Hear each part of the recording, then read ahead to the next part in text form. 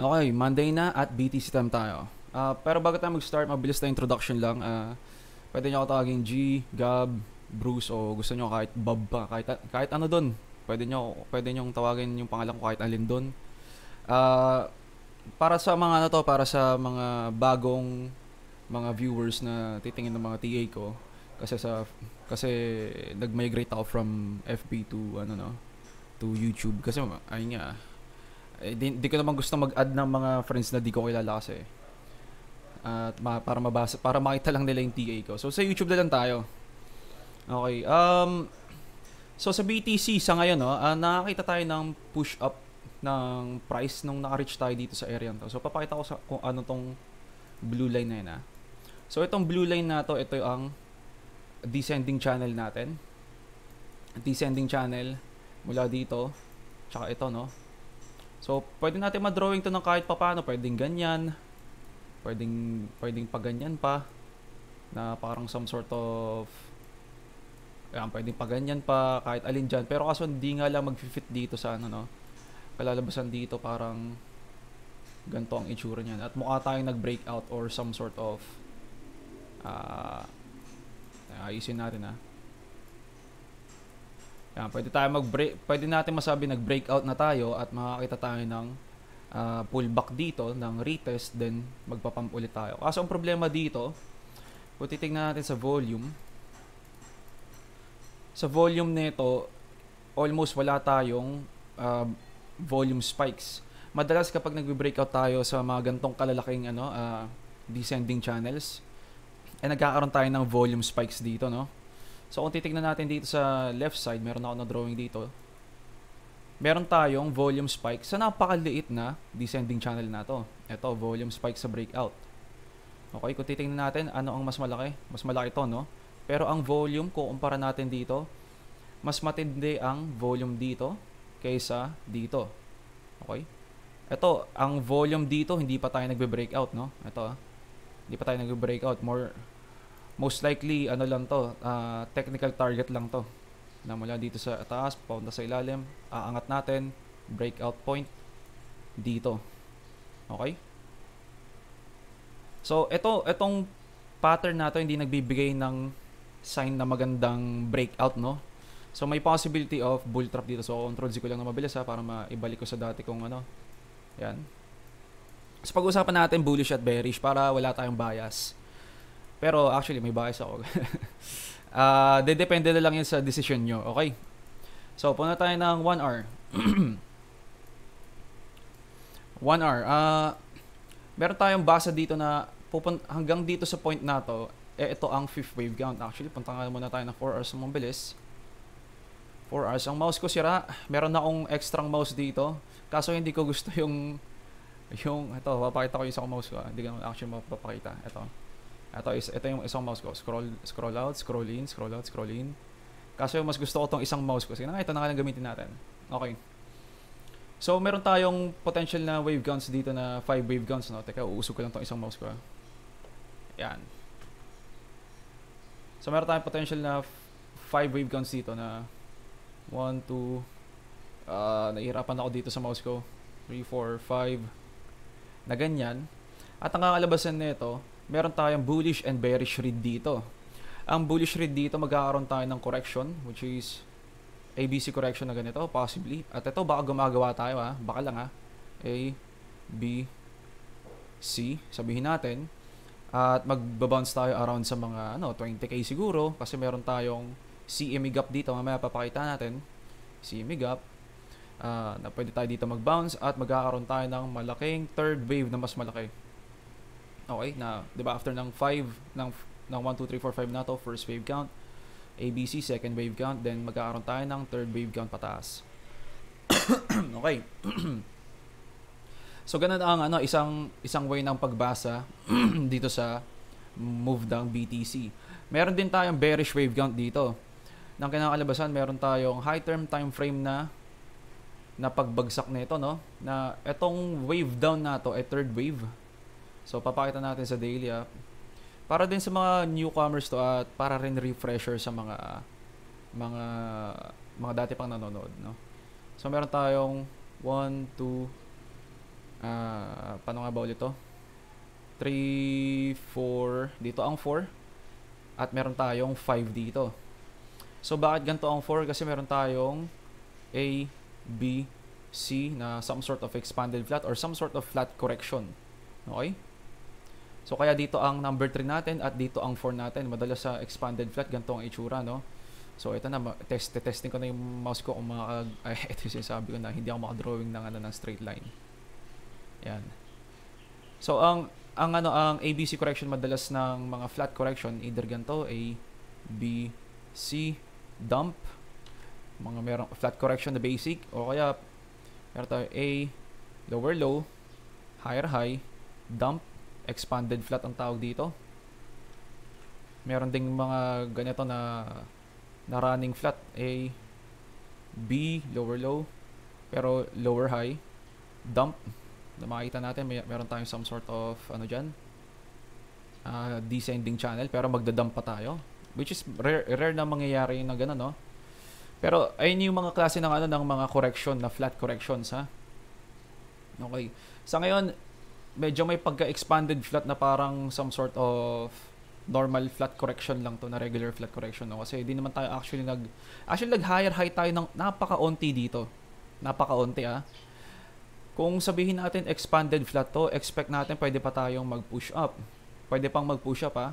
Ang masasabi ko, pwede pa tayong mag-push up na ganito. Tsaka lang tayo babagsak. Okay? So, titignan natin sa bullish case. So, punta tayo for uh, 1 hour, sorry. 1 hour. Oops, sorry. Titignan natin kung ito ang fourth wave, which is ang fifth wave ng mas maliit na na na either C wave or sabihin natin ang start ng first wave count, ang kalalabasan dapat magkakaroon tayo ng ABC correction dito na some sort of ganito, no? Meron tayong A, B, C, possible na ganito. Kaso ang problema dito sa ABC correction na to, masyado maiksi ito para sa napakalaking push-up na to. Actually, punta tayo ng ano, no? Punta tayo ng empty space or more like yung clear chart. Ito. Sa clear chart tayo. Tapos, ang kakalabasan nito, di ba ganito? Ano tayo? 1, 2, 3, 4, 5. Huwag nyo muna napansin itong mga hindi ko masasaktong mga linya, ang mga points, kasi hindi ako sanay sa bagong mouse.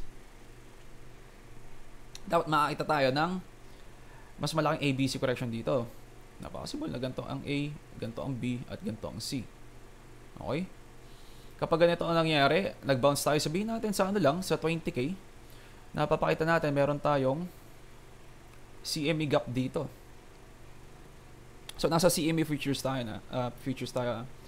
Madalas meron tayong mga CME gaps dito na nafi-fill. So tingin tayo ng ano ng mga other CME gaps ha. At meron tayong CME gap, dito, di pa natin nafi-fill. Possible na ito muna ang ipunta niya. Or possible din na ito muna ang i-fill niya, ang ipunta niya bago tayo mag-pump, sabihin natin. Kaya ako sinasabi, 20, baka pwedeng 20k lang tayo mag, mag-drop para sa bullish case. Drop dito. Then, push up. So, makakita rin tayo ng some sort of mini resistance dito sa area to, no? Oops. Ito na nga lang, linya na nga lang. Mini resistance. Parang mini resistance dito. Or, so, sorry, mini level, mini support. Okay? So, tingnan natin yung mga CEMI gaps na yun ha.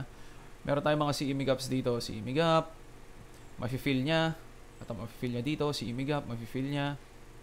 Makikita niyo yung mga closest na mga candle madalas after niya ma-fill, no? Ito, mafe-fill niya, close.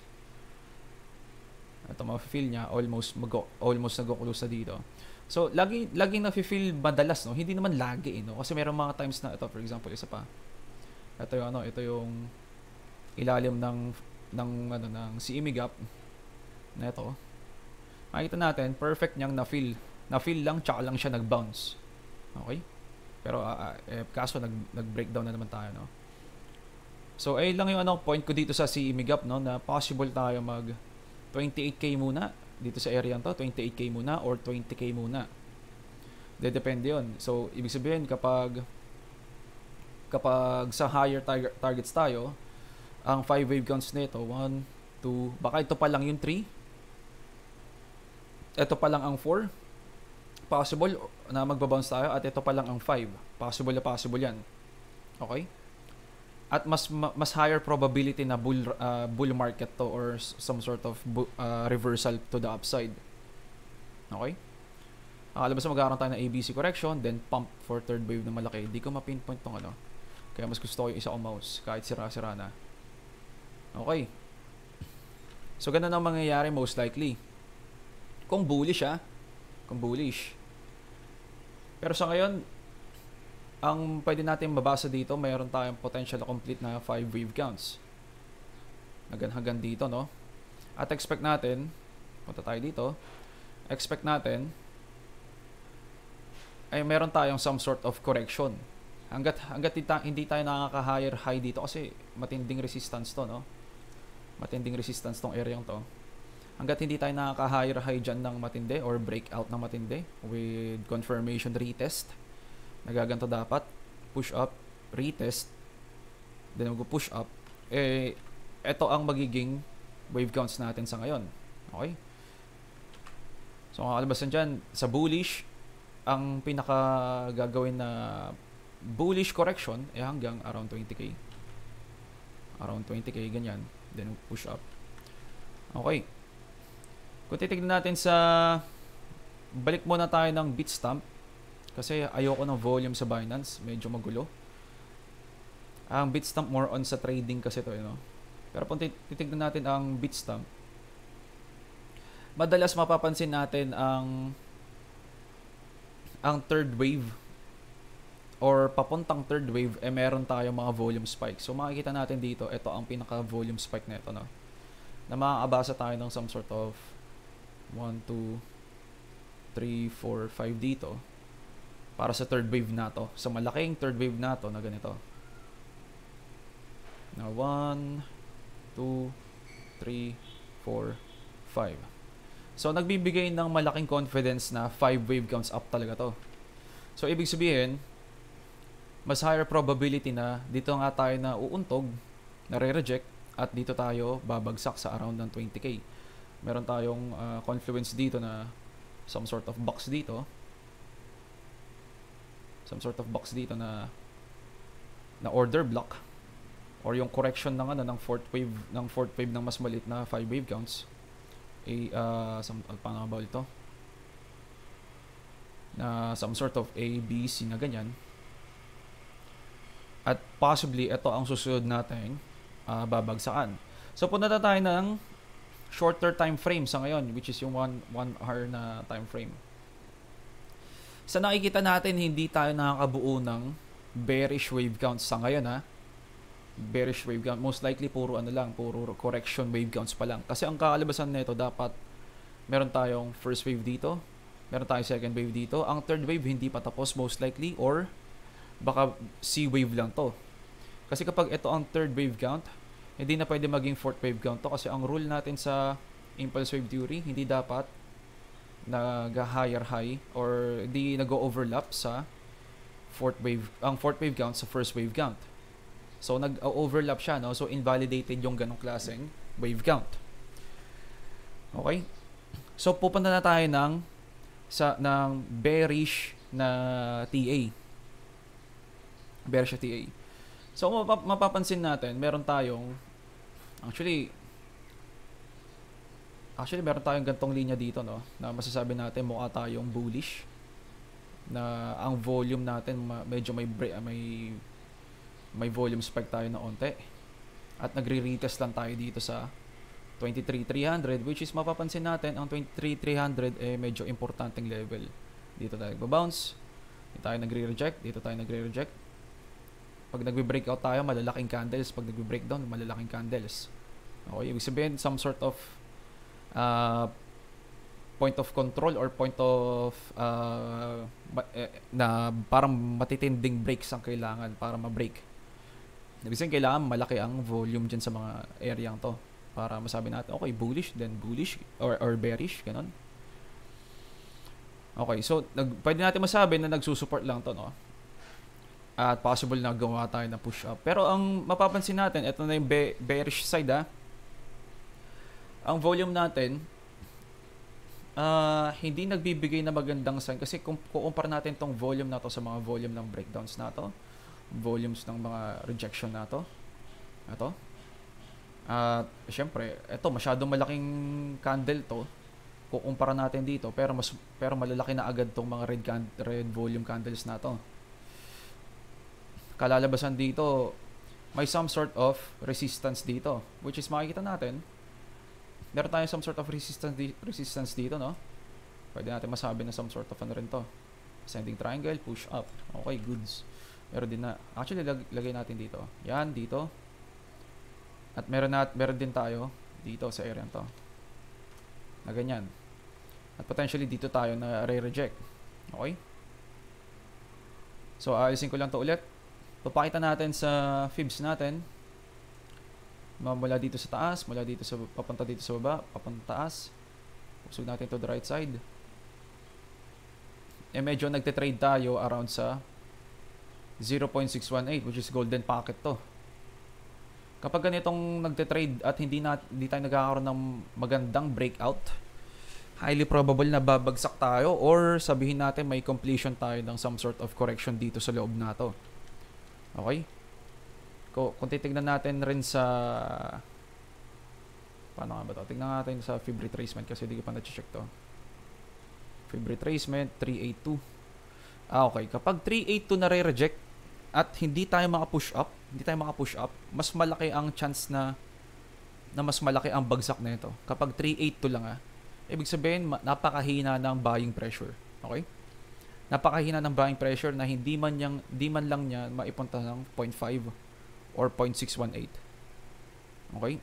Kaya kapag ito nag nag-breakdown na naman to, pag nag-breakdown na naman to, expect natin at least dito sa 22,400, kapag pati itong 22,400 bumagsak, uh, higher probability na on the way na tayo sa 20k. So, ito lang ha, ang, ang problema dito no, sinasabi natin na potential, uy ano to, potential na malakas ang push down hindi ko alam kung paano tanggalin tong remove na to. Hindi ko siya ma-remove. Ah, uh, ayun na wala. Na hindi tayo makagawa ng ano no, hindi tayo makagawa ng impulse impulse waves dito. Ang kalalabasan, may potential na ito pa lang ang first wave count. Okay? At ito pa lang ang second wave count. At mas matinding third wave count to. Na ganito ah. Third wave count, fourth wave count. Sa, kung saan man to mga to, na ganyan. Possible na mas malaki tong uh, first wave count, second wave count, third wave count, fourth wave count, fifth wave count. Pero kapag ganito kalalaki to, expect natin matinding lower lows to. Okay? Nilalapag ko lang yung idea ko dito sa bearish na sa bearish move. Okay. So bakit ko naiisip na ganon? Kasi actually pwede natin i-drawing rin tong diagonal line na to into body close to candle close. Or, or like week, sa mga week pala, sorry. Alisin natin tong ano, tong volume natin saglit. Zoom in tayo. Makikita natin ang candle close andi dito. Meron tayong mga perfect uh, excuse me. Meron tayong mga perfect na ano na na rejection sa linyang to. At kung magdo-drawing tayo dito ng some sort of Actually, pwedeng ano to, no? Pwedeng di, malaking descending channel. Hmm. Pwede kaya. O, sabihin natin week to week muna to. Pwede tayo magkaroon ng leading diagonal dito. So, ano ba ang leading diagonal? Uh, ano to? Expanding leading diagonal to. Nakakalabasan. Meron dapat tayong oh, some sort of, actually, ito lang, no? Na A, B, C, D, E na ganito. Then magpa-pump to ang kakalabasan, magpa-pump. Then after mag-pump nito, ito ang actually di pa pala tapos ang first wave kung, kung ganito ang wave count, no. Teka, double check natin ha. Okay. So, highly probable na hindi pa pala tapos ang first wave count. Ito pa lang ang first wave count kung, kung ganon. So, magpa-pump to at tsaka lang babagsak. Magkakaroon tayo ng ng mas malaking bearish market structure dito. Kasi meron na tayong bearish market structure, no? Sa shorter time frame, meron na tayong, actually higher high to kaysa dito, no? higher high to dito. At meron na tayong low dito, meron tayong low dito, meron tayong lower high. Pati ito na ano natin, na bearish market structure na natin to. So, ang pinakinaabangan natin dito, yung high term time frame na bearish market structure, siguro mga day, daily. Uh, most likely, ang daily na bearish market structure dito ay kapag ito pati ito na, na lower lows natin na ganyan. Kapag yung pati na lower lows, tumataas ang probability na babagsak tayo na matindi. Okay? Pero sa ngayon, nasa short term time frame pa lang tayo. Mga 1 hour to 4 hours pa lang tong bearish market structure na ganito. Okay? So, ayusin lang natin to. Papakita ko ha, leading diagonal o kaya ito sa uptrend ganito, sa downtrend ganito. At uh, potentially meron ding mga iba't ibang klaseng leading diagonal. So ito bearish leading diagonal to pero expanding to, expanding. Which is ito yung nakikita natin expanding to na parang some sort of uh, actually dito pa sa taas meron din natang ganun. Leading diagonal na ano Ah, wala na. Wala silang other examples, no? Ito, pabagsak. Kasi puro ano to, no? Puro bullish kasi puro ano to, no? Either ending diagonal o kaya bullish na rising wedge or falling wedge. Oh, wala sila masyado. Ito, bullish bullish kasi ito, no? Ex- expanding leading diagonal na bullish. Alabasan meron tayong 1, 2, 3, 4, 5. Magdadump then magpapump na tatang para sa uh, susunod na wave counts niya to the upside. So, ang problema lang dito, kabaliktaran to. Bearish kasi to kakalabasan. Meron tayong 1, 2, 3, 4, 5. Magpa-pump ng konti. Di natin sure kung hanggang saan yung pump niya, no? Pwedeng sabihin natin hanggang dito lang. O pwede mag-breakout pa na false breakout. Then, tsaka magda-dump. Ganun, ha? So, saan pa ba tayo nakakita na ganito na mukhang walang na mukha, mukha siyang, sa, sa bullish case, mukha siyang ABC correction. A, B, C. Tapos magpapapump. Pero nga, alabasan, meron tayong importanteng mga levels dito na ano, na kailangan niya i-break. 382. Meron din tayo dito actually sa ano sa shorter time frame. Kung sa kung natatandaan ko, uh, trend base mula dito sa ilalim na to, papunta dito sa taas na to, uh, hindi niya ma-pinpoint, ayan. Meron tayong rejection around, uh, nagte-trade tayo around sa 2 fib tsaka 1.618, no? So makikita natin, perfect na perfect yung mga ano natin. Itong 1.618, ito hindi nga lang niya naabot tong ano, tong 2 fib. Pero mapapansin natin, nagte-trade siya around dito sa area to. Okay? So, sa pa ba natin nakita tong ABC correction na to? Na mukhang mukhang bullish to pero ang kinalabasan, nag-breakdown pa. Punta tayo na daily ah. Dito rin ang isa sa mga mga napansin rin ng mga whales na mukhang tama yung ABC correction pero nagkamali sila doon. Uh, kasi nagkaroon ng ano na Luna crash dito sa area to. Luna crash tapos parang mga 3 arrows capital crash na ata dito or mga kung ano, pang other companies, crypto companies no na nag ano pa na na fuel ng Luna crash. So ganito no. May possibility kasi tayo dito last time nung hindi pa tayo babagsak ng ganto katindi. Na etong etong move na to. Etong 1 2 3 4 5 move na to, eh potential na first wave count pa lang to. At itong push down na to, eh some sort of correction bago tayo mag third wave count na matindi. Okay? Pero hindi na hindi hindi siya nangyari no kasi nagkaroon tayo ng ano ng mga problema sa inflation, nagkaroon tayo ng problema sa crypto na Luna crash, mga ganun. So, ito ito yung, ito yung gusto kong pakita no. Mukha siyang A, B, C. Okay?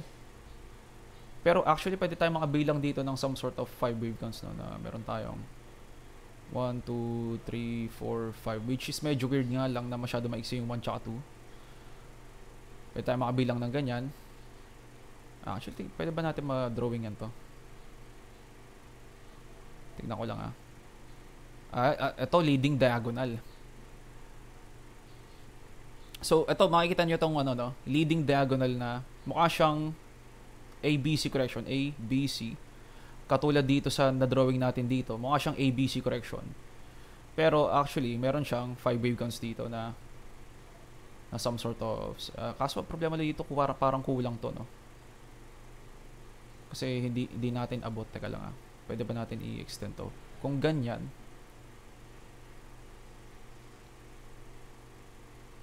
ah uh, kung ganito kaya yan. Para siyang ano para siyang parallel channel. Na ganyan hindi eh. Nag expand din siya no? Ayusin ko lang to ah. Para siyang expanding ano expanding expanding wedge din.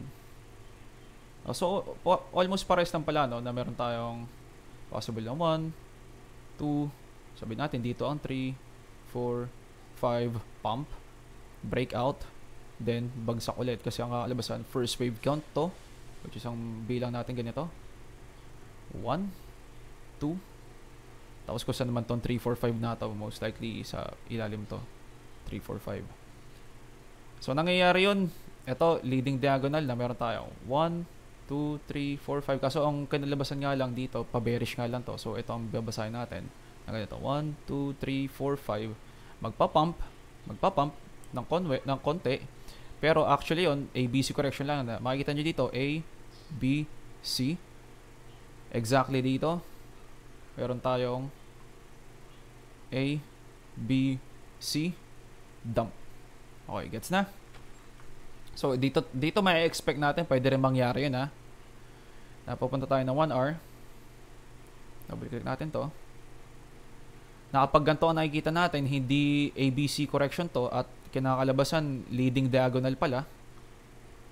Uh, baka mali rin yung drawing natin dito, di natin sure pero tignan natin, nakakalabasan, meron tayo 1, 2, 3. Mukha tayong may kulang dito. So, possible na mukhang ganto pa to. Tsaka magpapump kunwari para sa ABC correction. Nakakalbasan. Ganto na naman yan. Meron tayong 1, 2, then babagsak tayo ng matindi. Ayun yung sa bearish na, bearish case. Okay. So, tignan natin ng ano ang data, no? So, pinakita ko yung ano, no, itong daily na to. So, ano tayo, nag, nag-check rin tayo ng ibang channel, no? Kasi, ako, hindi naman ako expert dito sa sa pag-TA. Ang, exper- ang experience ko lang mga one and a half years to two years lang ng intense, hindi naman intense, parang naging hobby ko kasi so ang kinakalabasan parang parang naging habit na lagi ako nagti-TA. Hanggang sa nagti-TA na ako sa Facebook lagi for fun lang. Uh, actually hanggang ngayon for fun lang to no. Wala tayong ano, wala tayong kahit anong klaseng uh, mga monetization dito sa mga to. So, eh, pero expect natin, hindi tayo lagi tama, no? Hindi tayo lagi tama. So, ito, for example, no, ang sinasabi ko dito, meron tayong ABC correction. So, so itong mga, ang, ang on-chain metrics na to, na data ng whale, whale wallet, whale wallet counts, eh, nagpump ng matindi dito. Nagpump ng matindi dito sa area to, no? Dito sa area to. So, bakit? Ba't siya nagpump? Kasi ito yung sinasabi ko, no? Na pati ang mga whales nagkamali dito.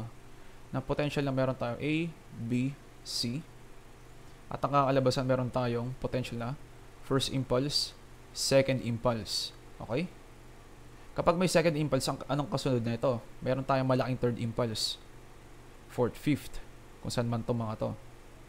So, mapapansin natin sa basic impulse wave theory, sa basic impulse wave theory, napapansin ng whales to.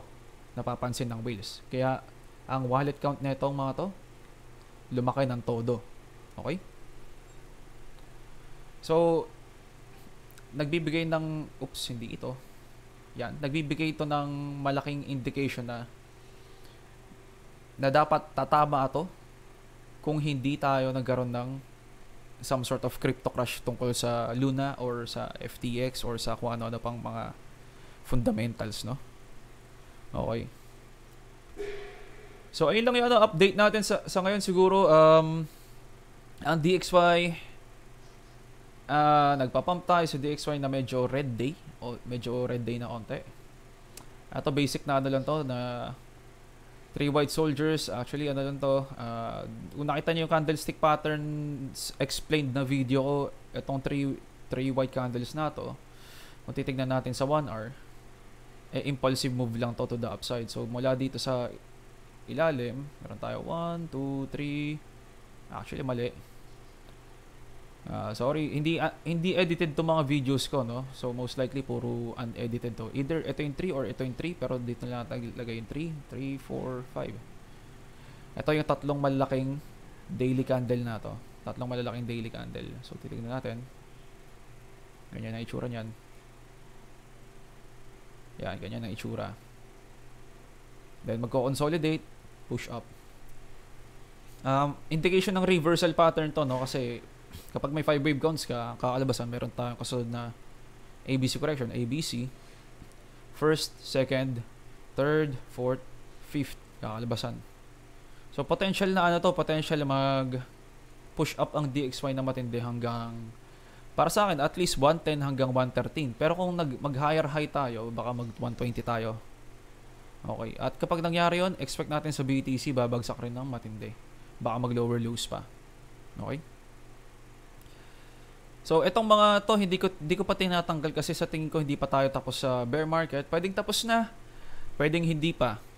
So, hanggat walang confirm, wala pa tayo nakikitang confirmation, eh, hindi tayo agad-agad mag tatanggal ng mga mga ganito, no?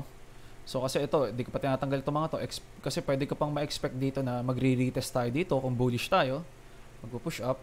Or sabihin natin kapag nag-breakdown tayo dito, ginawa, ginawa nating resistance to after ng breakdown retest, tapos bumagsak, eh, mas pangit na sign para sa BTC, baka mag-lower lows tayo. So, ayun lang nga.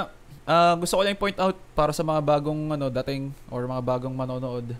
Hindi edited to. Uh, so marami, marami, sure ako marami-rami akong masasabing mali sa mga future na mga uploads natin. Baka dito may mga nasabi na ako mali, no? Okay. So, pa, pa-correct na lang ako sa, ano, sa comment section kasi tamad akong mag-edit ng videos. so, ayun lang nga, GG's boys.